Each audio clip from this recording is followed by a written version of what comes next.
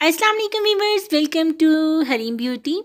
तो आज मैं आपको तिब्बत ब्यूटी क्रीम से गोरा करने के लिए इंतहाई आजमूदा सा जो है वो नुस्खा लेकर आई हूँ।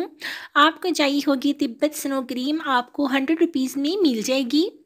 और बहुत अच्छी क्रीम है ऑयली प्रोन स्किन के लिए वेरी बेस्ट और इसके बाद हमें चाहिए होंगे वाइटनिंग कैप्सूल्स और इसमें हम जो है वो दो वाइटनिंग कैप्सूल यूज़ करेंगे और वन टीस्पून हम जो है वो क्लोबी वेट क्रीम यूज़ करेंगे। तो चलिए आइए इस क्रीम को बनाना मैं जो है वो स्टार्ट करती हूँ। तो सबसे पहले मैंने क्रीम की बोतल का जो लीड है वो ओपन कर लिया है। अभी मैं इसमें डालने वाली हूँ टू वाइटनिंग कैप्सूल्स अच्छा तो इसमें मैं अब दो वाइटनिंग कैप्सूल डाल रही हूँ, जो कि वाइटनिंग के इफ़ेक्ट को मज़ीद बढ़ा देंगे। और इसके बाद मैं इसमें क्लोबीवेट क्रीम शामिल करने वाली हूँ, क्योंकि ये क्रीम जो है दाने, दाग दबी छाइयाँ भी ख़त्म करेगी। आप मॉर्निंग में नाइट में दोनों टाइम में यूज़ कर सकते हैं। वन टीस्पून आपने जो है वो क्लोबीवेट क्रीम का डाल देना है।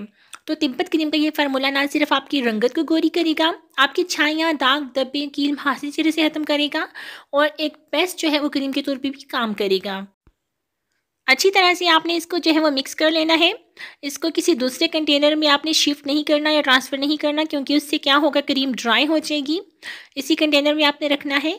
अच्छी तरह से आपने इसको जो है वो मिक्स कर लेना है।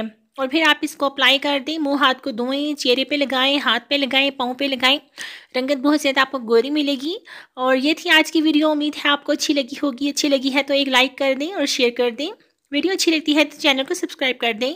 मज़ीद वीडियोज़ के लिए आपने विज़िट करना है हरीम ब्यूटी का। Thank you so much for watching